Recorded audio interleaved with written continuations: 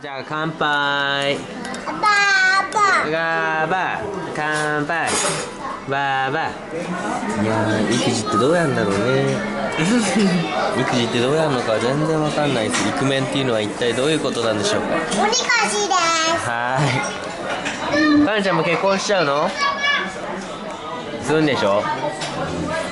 でもパパがねカレンちゃんのね旦那さんをねテストするから。ゆ夢の旦那さんもテストするから分かった？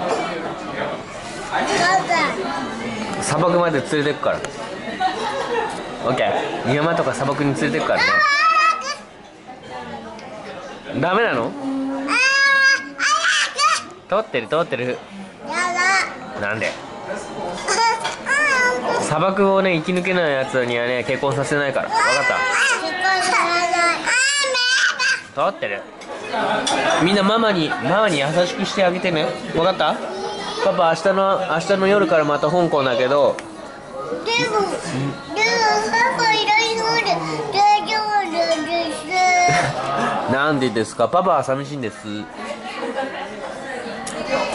パパのお仕事したらしたらいるからいいでしょ。パパのお友達いるからいいでしょ。なんそれ？パパ何香港にお友達がいるの？パパ香港にお友達はまあいるけどそんなにいないです。ママと一緒の方がいいです。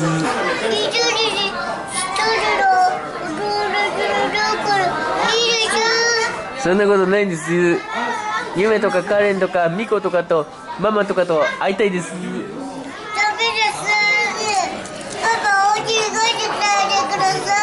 それはパパが香港に行くからですか？ずいやーっと香港から帰ってこないでください。山にも行っちゃダメなんですか？行ってもいいです。帰ってこないでください。日本に行って香港やめて山だったらいいですか？ないでください。なんでですか？寂しいからですか？うんいやー、痛い。もう帰ってこないでください。嫌です。ダメです。なんでですか？夢のこと好きなんです。ダメダメ夢のこと好きなんです。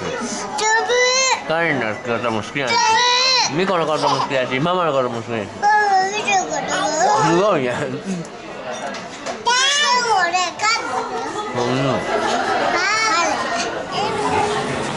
イクメンっていう男の人種はどういう人種なのかが全くわからないです。えー、イクメンっていう男の人種はどういう人種なのかが全くわからない。エベレストと会社と家庭育児。いやこの3個を同時に回してくれたらほんとしんどいですね。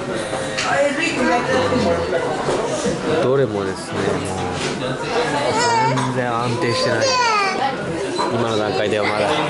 そういうかまあ安定することっていうのはあんまりないのかも